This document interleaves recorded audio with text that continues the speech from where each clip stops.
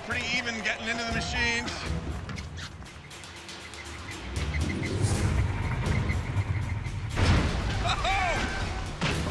Put your bucket down, get your tracks over it, crawl right over it. Cody's up and over, and he's in the lead. Dave's up and over the wall. Gene's over the wall.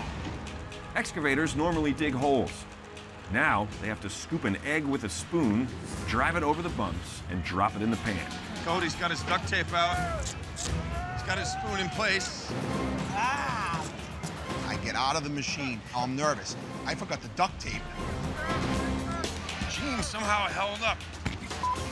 Get out. Everything is soaking wet. This rain sucks. It's slippery. It's hard to see out of the cab. This is hard right here.